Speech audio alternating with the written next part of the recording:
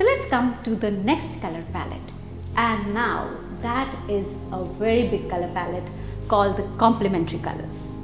Now what it is about complementary color schemes is we are moving from monochromatic which was same color, uh, hues, uh, tones, tints and um, shades to analogous which were close neighbors and now we are going to opposites. So a huge contrast is what is awaiting.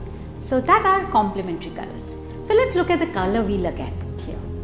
We have the yellow opposite the purple, we have the orange opposite the blue, we have the green opposite the red. Now this means if I'm wearing an orange top, my blue trouser is going to be the maximum contrast I can create in my styling. So if you want a person to look at your top and your bottom and not as a flow as in monochromatic color scheme, use a complementary color scheme. So let's have a look at what does complementary color scheme look like when they are bundled together. So here, these are two very interesting pictures. Here I've put the red and the green together, the orange and the blue together, and the yellow and the violet together, but in different proportions. Why do we do that? Remember we talked of color balancing? Every color has a weight. Deeper colors have more weight, but when they have more weight, we use them more. And the brighter colors need to be used less, just like salt to food. So here red and green are almost similar intensity in this picture, so they are half. Whereas we use a little of orange to the blue that's given and that bright yellow, a little pinch of bright yellow to that mauve. So this is how we balance color. But in the picture you're seeing that Naomi is wearing a lot of yellow because her background is of a very deep blue. So her 75% background is of blue, so she is able to wear a yellow in this picture. So that's a beautifully done picture and color balanced.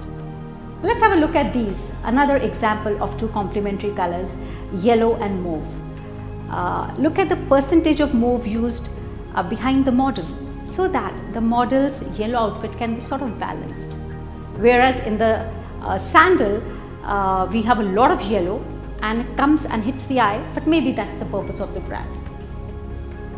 Few more examples of orange and blue and we always use a little lesser of orange and more of blue because of its depth and orange being too bright and vibrant. So there's always a 70-30 ratio happening with bright colors, uh, but I have an example to share with you. In this blue and orange, they're almost balanced because of the tones that are used. They are muted. You could use them 50-50. Now this is a very interesting picture of red and greens. Very well balanced. We need a little tinge of the bright red. Remember the 2 is to 5 and 3 is to 5 ratio. And the 3 is to 5 is the green. And we need to use more of green, which is deeper, darker, to balance out the bright red.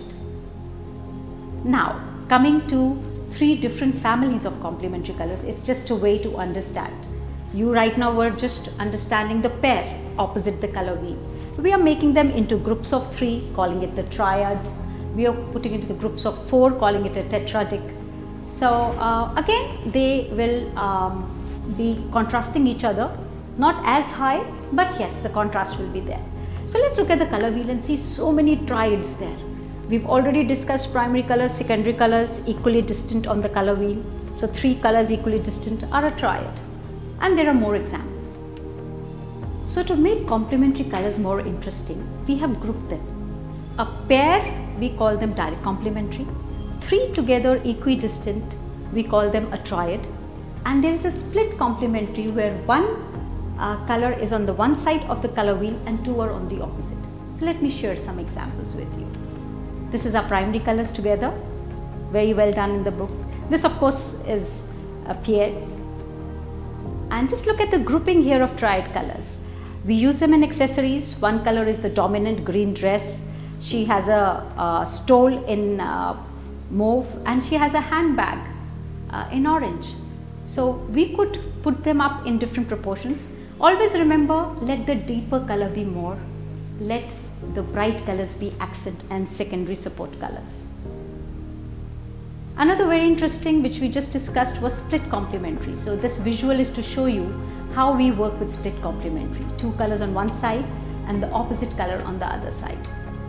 and they have less of a contrast and make more interesting composition.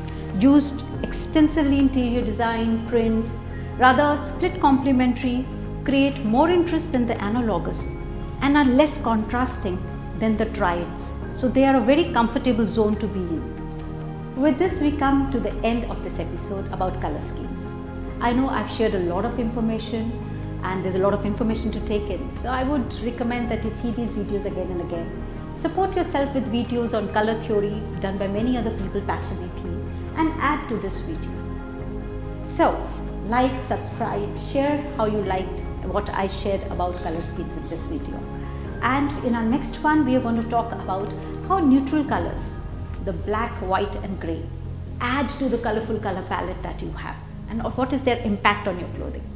We'll also discuss balance. So before I leave, as usual, I'll leave you with a thought Last time I asked, what defines you? Who am I? How do you define yourself? Does your failure define you? Does your successes define you?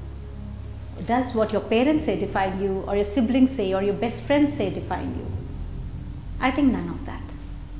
What defines you is what you choose to be defined by. If you choose to be a diamond, that's your definition. So why would I would choose why would I choose to be someone who's defined by failure? I could choose to be someone defined by sparkle. So, define yourself, and that's who you are. Bye for now.